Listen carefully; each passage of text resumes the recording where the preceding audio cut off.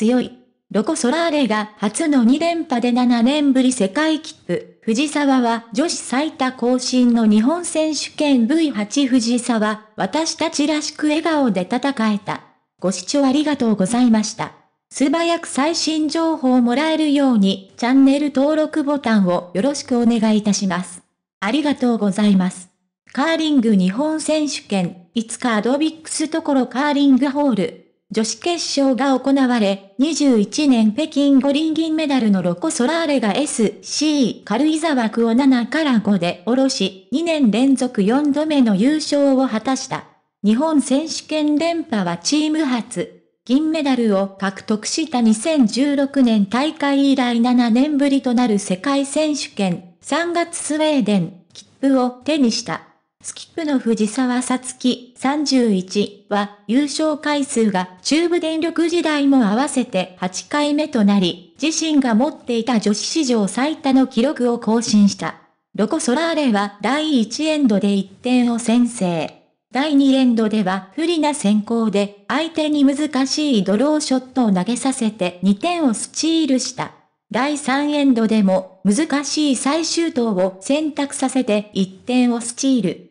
4から0とリードを広げた。第4エンドで2点を許したが、第5エンドは優位な形を作って2点を追加。6から2で迎えた第6エンドは SC 軽井沢区が2点を獲得した。第7エンドでロコ・ソラーレが1点を追加。第8エンドは互いに点が入らないブランクエンドとなり、第9エンドは SC 軽井沢区は1点止まり。ロコ・ソラーレが試合校舎ぶりを発揮し、しのぎ切った。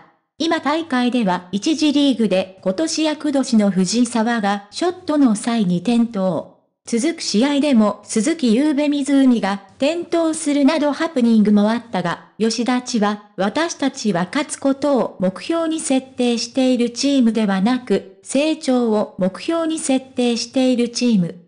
だからこそ勝ち続けることができるし、成長し続けることができる。決勝はこの大会で一番いいパフォーマンスができた。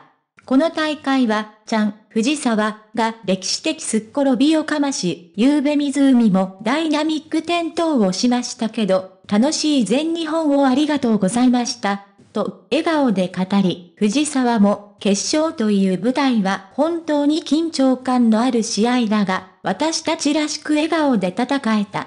試合前半で大量リードは難しくなるのは学んできていた。最後まで集中してできた。私たちの地元所町で、この施設も10周年という記念すべき年に地元の私たちが勝ってたのが嬉しい。そして世界選手権に行けるのが今はすごく楽しみです。